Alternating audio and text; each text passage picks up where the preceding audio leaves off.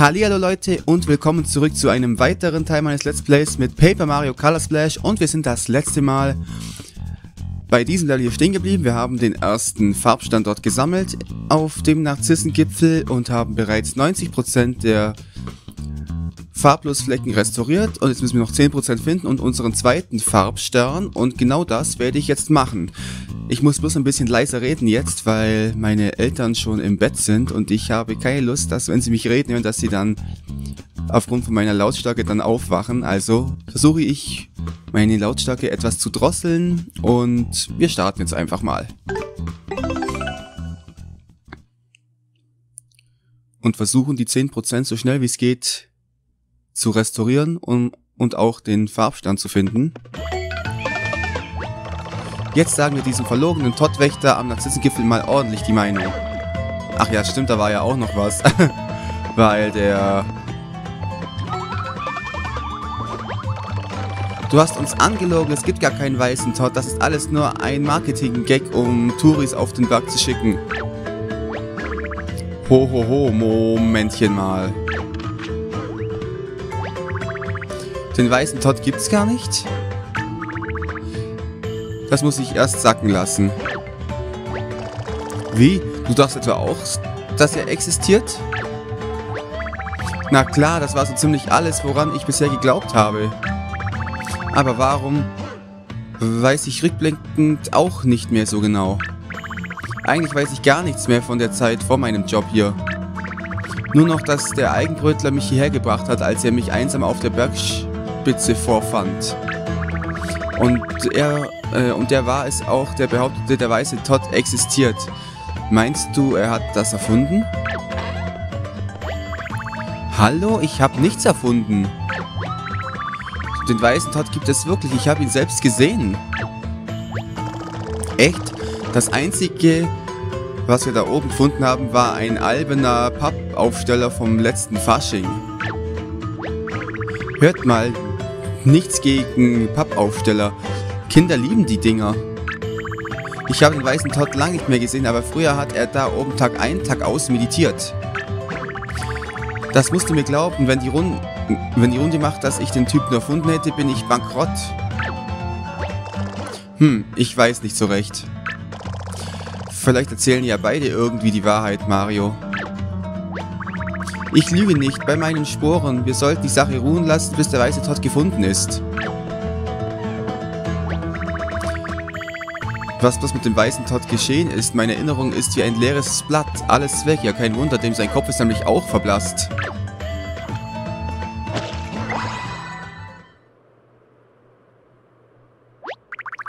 Heureka, jetzt fällt's mir wieder ein. Die fehlende Farbe auf dem Kopf hat meine grauen Zellen beeinträchtigt. Ich bin ein auserwählter Todd, einer der Mächtigen, gesegnet mit unsäglichen Kräften. Ich meditiere, ich meditierte auf dem Gipfel, um zu begreifen, was meine Bestimmung sei. Du hast da oben meditiert, ja, aber das bedeutet ja, du bist der weise Todd? So nennt man mich wohl. Fabelhaft, es gibt den weißen Todd also wirklich. Aber du hast dein Gedächtnis verloren, stimmt's? Hast du überhaupt noch die Kraft der, Aus, äh, der auserwählten Todds? Oha, ausgezeichnete Frage. Ich probiere das mal kurz aus.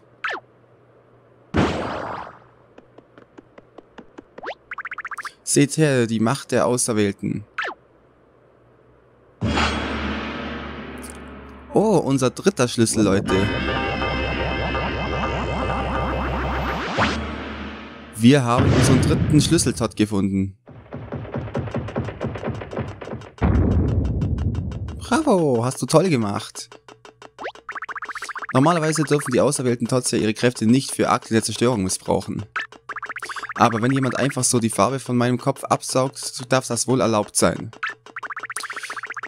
Die müssen mir geschlürft haben, als ich meditiert habe, da krieg ich nichts um mich drumherum mit.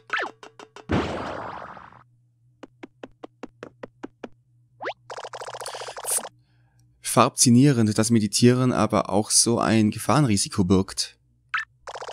Weißt du übrigens irgendwas über die großen Farbsterne? Wir suchen sie überall.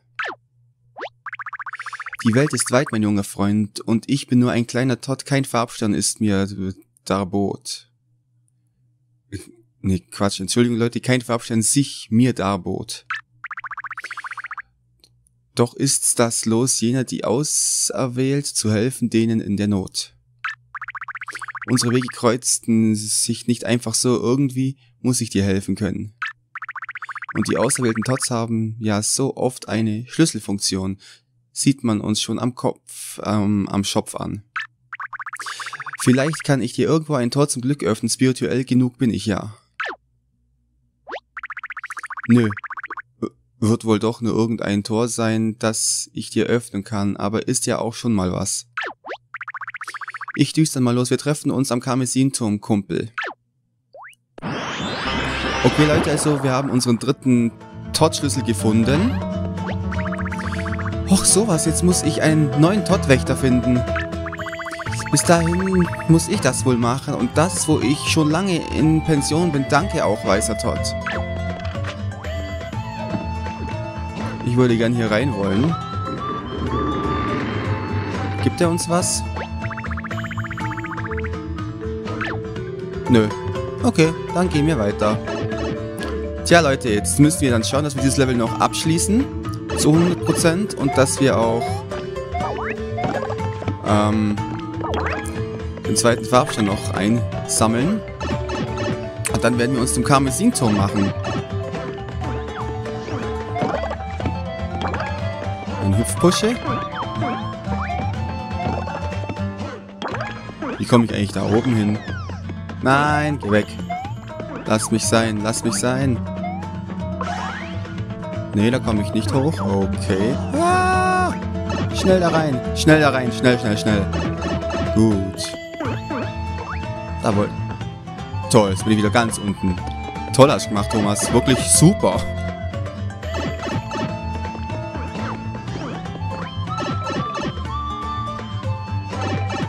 So, jetzt schnell. Ich wollte gerade ausweichen, rennt voll in den Rhein. Das war natürlich jetzt richtig behindert, gerade von mir. Gerade intelligent war das nicht. So, was nehmen wir denn für eine Karte? Ähm, ich nehme zuerst mal einen Schuh. Und damit müsste der weg sein. Und eine Hammerkarte für den Stachi. Oh, soll sie noch reinschnippeln, sonst wird es gar nichts mit angreifen. Und tschüss. Werte Hau. Oder werte Schildkröte besser gesagt. Und der Stachi hat auch ins Gras gebissen. Sehr schön.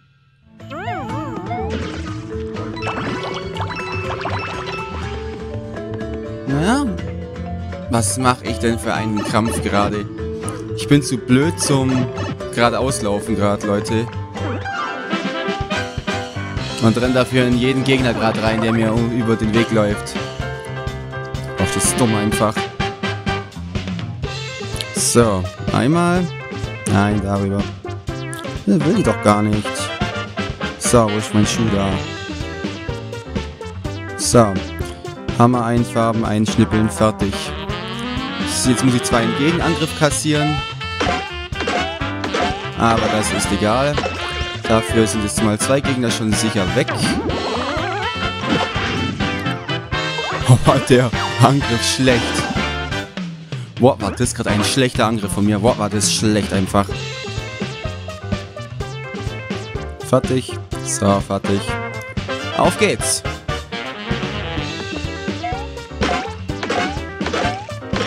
Und tschüss. Sehr gut. Geschafft. Und vielleicht... Jawoll! Meine Farbmenge wird aufgestockt und verbessert. Jetzt habe ich 260 zur Verfügung. Ich weiß, ich weiß zwar immer noch nicht, in welcher Einheit das gerechnet wird, habe ich keine Ahnung. Ah, geh weg, geh weg, geh weg, geh weg. Du sollst da reingehen, Mario, du Dödel. Schnell das Herz nehmen. So. So.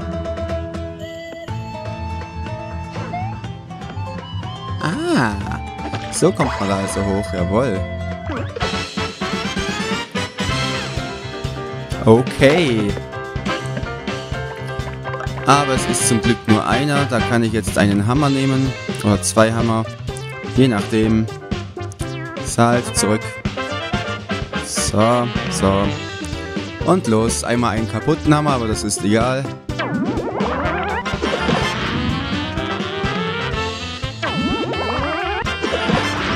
Und tschüss. Ein grandioser Sieg. Gib mir Hammerpappe, du Paracupa. So. Jetzt können wir in aller Ruhe nach oben gehen, hoffe ich. Ohne lang da jetzt rumzufackeln, denn ich brauche noch einen Farbstand. Ich habe noch einen Farbstand zu sammeln. Yippie! Nein, ich wollte doch da gar nicht runter. Ja, genau, als ob du eine Doktorarbeit schreibt. Ist klar, Todd. Ist klar. Genau. Der hat ja sonst nichts Besseres zu tun. So. Was haben wir hier? Geh bloß weg. Geh mich bloß los. Nein. Gegen euch habe ich auch keinen Bock zu kämpfen. Ah, ah. Ich will nur weg. Halt, ist da was? Nein. Da? Auch nicht. Okay, dann gehen wir weiter nach oben. Vielleicht erwartet uns ja oben noch etwas, was wir einfärben müssen. Wer weiß.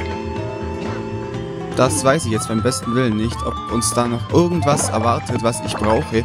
Ah, die Tür ist wieder erschienen. Das ist natürlich supi. Werde ich gleich in eine reingehen. Da ist auch nichts, okay. Ja gut, dann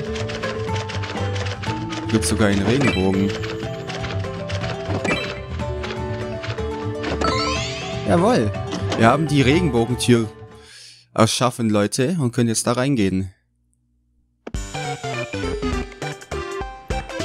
Was ist das? Farbkammer. Färbe für Abwehrverzeit so viele unsichtbare Gegenstände wie möglich ein. Okay. Na dann, nichts wie los. Wisst ihr was?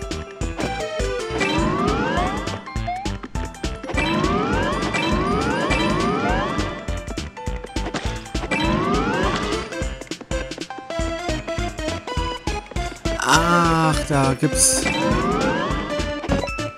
Da gibt es etwas, okay. Da kann ich nicht rein. Doch eine Tür, die ist zu.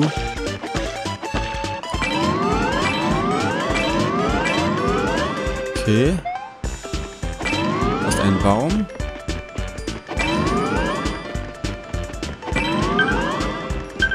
Schnell! Den Baum machen wir noch, jawohl.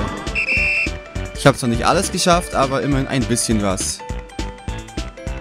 Aufgedeckt 15, neuer Rekord. 150 Münzen, ja. Ist okay. Aber ich habe jetzt gar nicht mehr gewusst, was es da alles gab in dem Abschnitt vom Papyroni-Pfad, was man da einfärben konnte. Keine Ahnung. Aber okay.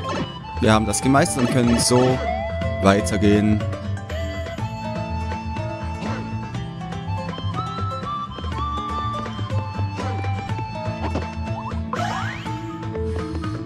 Jetzt will schauen, wie ich da dann rüberkomme. Ich hoffe, ich kann darüber irgendwie. Ah, ich weiß schon wie. Okay, okay, okay, hab schon verstanden. Habe schon verstanden. Ich muss von der anderen Seite auf die Röhre drauf, dass ich da hinkomme an den Stern. So nämlich, jawohl. Nein, hau ab. Lass mich bloß zufrieden. Lass mich bloß zufrieden, du Stachi. Eine Seriensprungkarte erhalten und einen großen weißen Farbdruck müssen wir auch noch einfärben. Jawohl, bekommen ein, ein Leben. Ein ab. Hä? Und jetzt ist da irgendwas? Hallo? Hallo? Hm? Komme ich da hoch? Da ist nichts. Da auch nichts. Was? Ach so, jetzt hat. Ich muss da ja hoch. Okay. Schon kapiert. Also, wir haben unseren zweiten Farbstand, Leute. Jawohl. Und jetzt bin ich gespannt, ob ich die 100% geschafft habe. Oder ob mir irgendeine Kleinigkeit fehlt. Von unserem Narzissengipfel.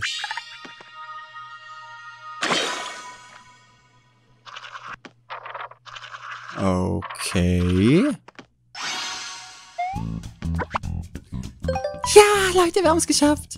Wir haben die 100% geschafft. Sehr gut. Jawollo, das freut mich. Und wir haben einen Brief. Ich werde mal schnell nach Port Prisma gehen und den Brief einsammeln. Und dann sehen wir ja.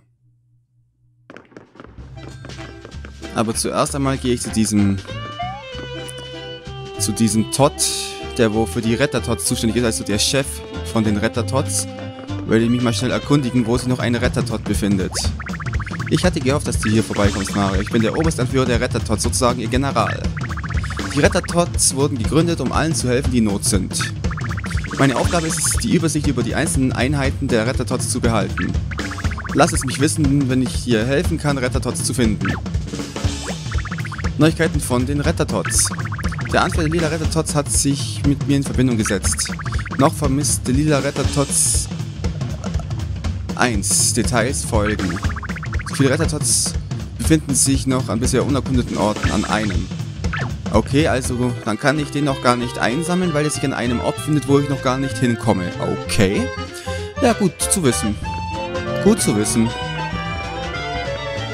Dann gehen wir jetzt schnell die Post holen.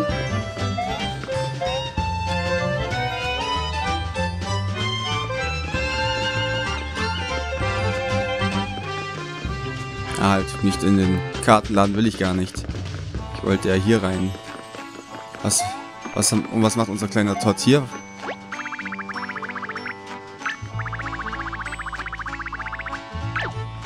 Er braucht einen Tapetenwechsel. Okay, ja gut, so kann ich dir momentan leider nicht weiterhelfen. So, Toddy. Hallo Mario, du kommst gerade recht, du hast Post. Von Luigi. Hallo großer Bruder, ich bin's noch einmal. Luigi, du weißt schon, dasselbe in grün. Hast du schon mal die Beschreibungen auf den Dingskarten durchgelesen? Ich weiß ja, du brauchst es eigentlich nicht, aber vielleicht erfährst du etwas darüber, wo man sie einsetzen kann. Okay. Das war's schon mit unseren neuen Briefen. Aber ich habe noch einen Brief bekommen, dass ich noch auf dem Papyroni-Pfad vorbeischauen sollte um dort dem Todd einen Besuch abzustatten, dem der Kaffeeshop dort gehört. Dann gehen wir mal zu diesem Todd hier hin. Würde mich jetzt gerade brennend interessieren, was der von mir will. Äh, denn Zeit habe ich ja noch ein bisschen. So, jetzt muss ich halt schauen, dass ich in keine Gegner reinrenne. Das wäre nämlich richtig dämlich.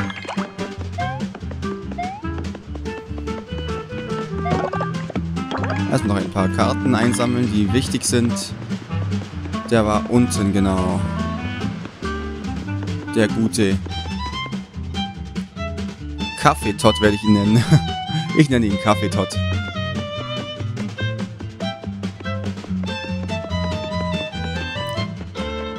So, gleich sind wir da, gleich sind wir da, gleich sind wir... Jawohl, da ist er. So, was willst du denn von mir? Ein Gast, yippie! Ich hatte seit Ewigkeiten keinen Kunden mehr. Oh, du bist es nur, Mario. Das war's nun wohl. Es ist Zeit, meinen Träumen Adieu zu sagen.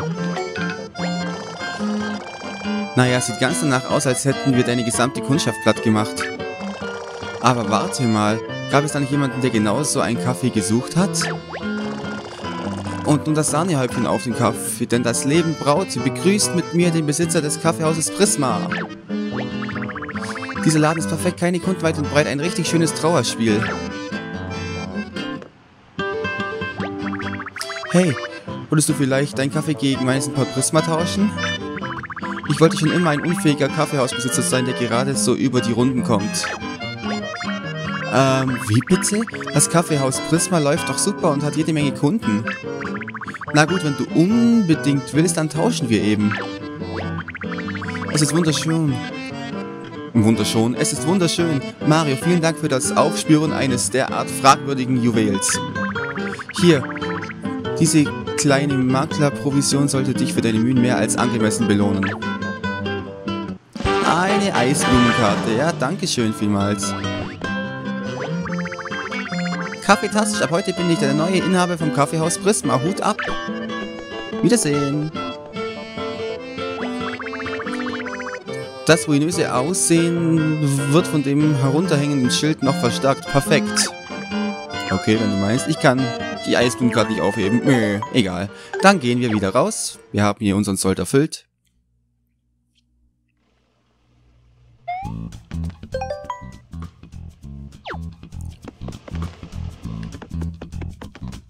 Und nun, meine Lieben, würde ich sagen, mache ich einen Cut.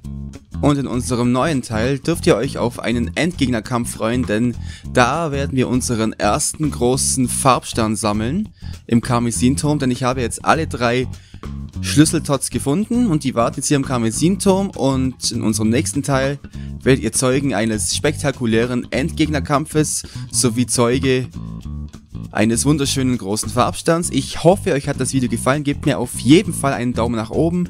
Und mit diesen Worten verabschiede ich mich und sage hiermit, macht es gut, haltet die Ohren steif und bis zu unserem nächsten Teil, in dem es heiß hergehen wird, Leute.